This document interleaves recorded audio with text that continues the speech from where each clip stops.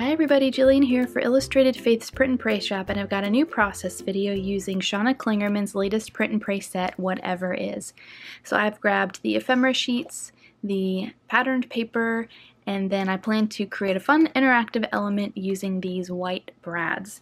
Today instead of creating a page in my Bible, I'm going to be working in my Traveler's Notebook and I'll be reaching for some things from the Illustrated Faith shop like this Chasing Rainbows Alpha set.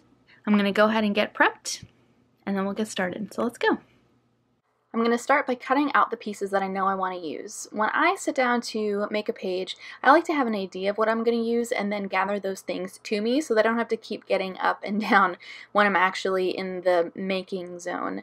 What about you guys? Do you like to have everything within arm's reach or are you like, and I'll know it when I need it type crafter?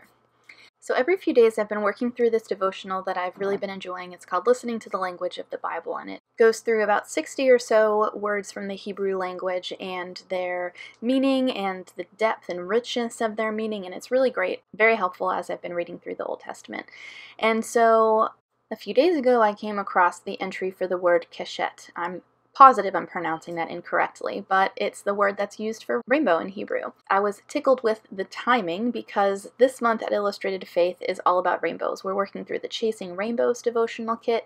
The Print and Pray shop is jam packed with rainbow goodness, and here I am learning about the concept of the bow um, in this devotional that I just happened to be reading. So I thought that was pretty cool.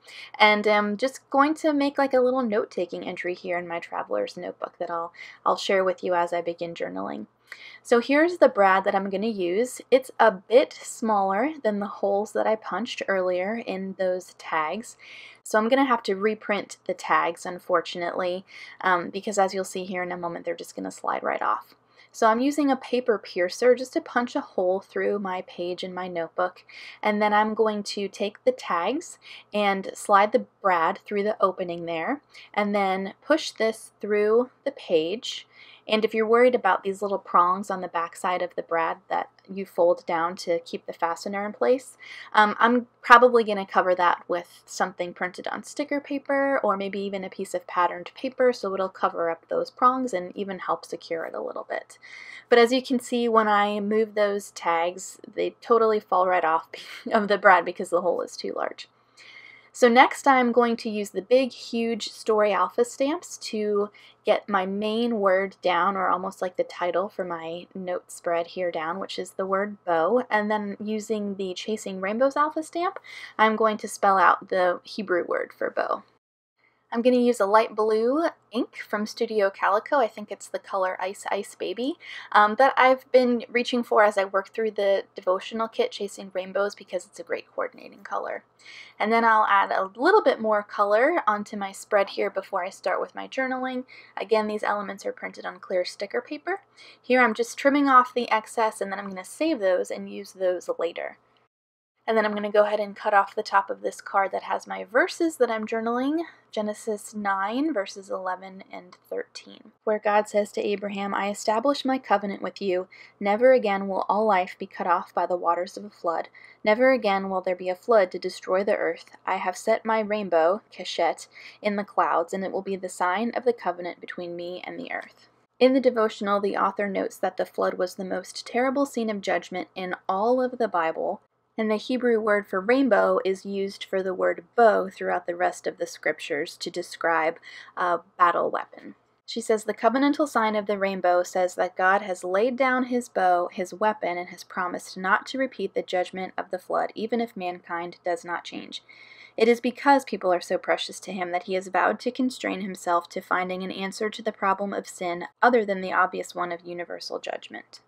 She writes God's ultimate plan is for mercy rather than punishment for sin. So I cut up some of Shawna's Wordfetti to journal a prayerful response to this devotional that I had read. Um, and it was great because I was able to use words like kindness, compassion, love, and forgiveness, um, which totally tied into what I was journaling about here. I have some blank space left in between my notes and the other elements from the printables. So I grabbed that Chasing Rainbow stamp set from the kit and added some raindrops with that blue ink that smiley heart face, and then a few more of those little art marks that Shawna includes in her set. I'll top that off with a date stamp and then I wanted to really use this tab, and I thought, why not use tabs in this traveler's notebook? I use tabs in my Bible, so that's what I'm going to do for this notebook, and I just um, included one of the Wordfetti on the tab there up at the top, and wanted to add one more bow just for fun, so I used, again, the Chasing Rainbows devotional kit stamp set and then some yellow ink for these really fun starbursts. And that is going to do it. So here's a finished look at my spread, my note-taking spread, featuring so many of the fun rainbows that we have going on this month. If you want to check out Shawna Clingerman's Whatever Is digital printable set or the Chasing Rainbows digitals, I've got those linked down in the video description below for you. Hope you guys have a great rest of your week and I'll see you soon.